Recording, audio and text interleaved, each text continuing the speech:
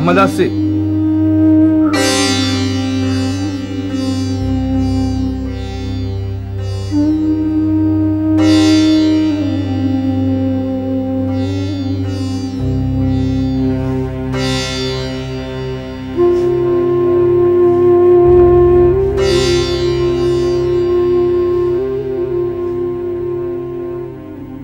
අනුශාසනාව කම්මුතිය එහෙමයි.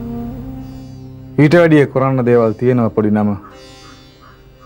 උන්ට පිහිටක් නෑ උන් තනි වෙලා. අපි උන්ගේ දුකට සැපට දෙකටම පිහිට වෙන්න ඕනේ. එහෙමයි. මුන් හතර අතට බෙදිලා ඉන්නේ. එක්ක කුල විදිහට එහෙම නැත්නම් උඩ පහත විදිහට. එක්ක ඉඩම් වලට නඩු කියා ගන්න. එහෙමත් නැත්නම් උදේ ඉඳලා තැබෑරුම් වල අරක්කු පැලෙනවා. සූදු කෙලිනවා. මෙහෙම ගියොත් මුන්ගේ ජීවිත වලපල්ලෙම තමයි. බණ විතරක් කියලා මදි පොඩි නම මෙන්න මෙව්වත් කියලා දෙන්න ඕනේ. එහෙමයි හාමි. ගමේ ඉන්න මිනිස්සු ගැන මීට වඩා ටිකක් හොයලා බලන්න වෙයි. ඔය ඉඩම් ආරවුල් වලට පැටලෙන මිනිස්සු වෙලාවක පන්සලට කැඳවන්න ඕනේ.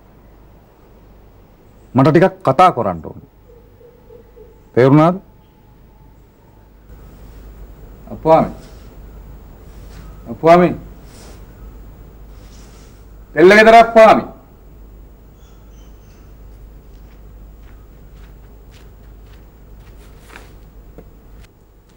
හාමුදුරුවනේ මං තොට දාපු නම මතක් කරන්න එපා. එහෙමයි. ගොහිලා බෙලිමල් හරික් ගහපිය. පොඩි නමගේ උගුරත් කා කියනවා ඇති බනම කියලා.